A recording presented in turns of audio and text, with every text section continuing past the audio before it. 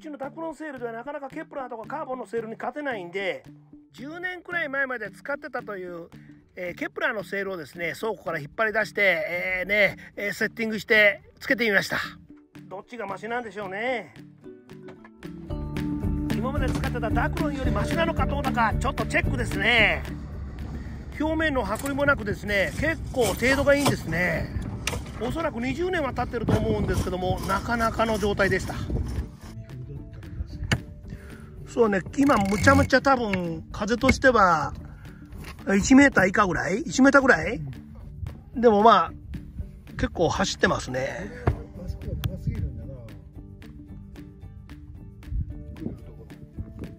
軽いのがいいですよねこのセール。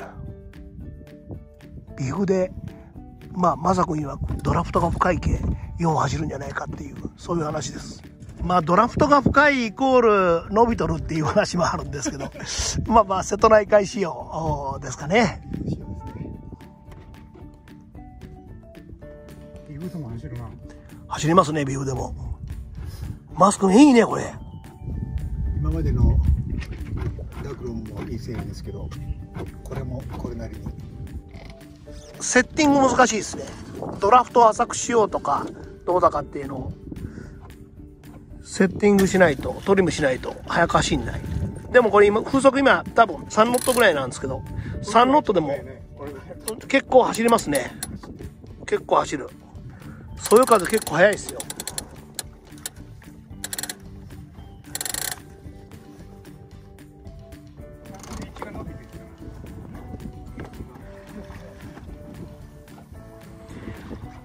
今あの風が4ノットぐらいで3ノットぐらいで走ってるっていう感じですね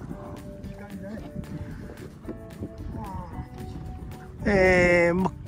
まあいわゆるそのドラフトが深い伸びてるっていうのをどうやってドラフトを浅くしたりコントロールしながら速く走れ走らせるかというのがちょっと大事な感じですね。やっぱこう速く走らすためには、このケプラーのフリセールを使ってどういうふうにトリムするかっていう、そんな感じですね。